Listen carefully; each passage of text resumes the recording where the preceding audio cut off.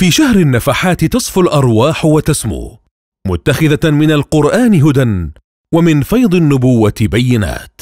إشراقات إيمانية وأحكام العبادات في شهر رمضان. وقفة يومية مع أمثال القرآن الكريم مع تقديمها بلغة الإشارة وترجمتها للغة الإنجليزية.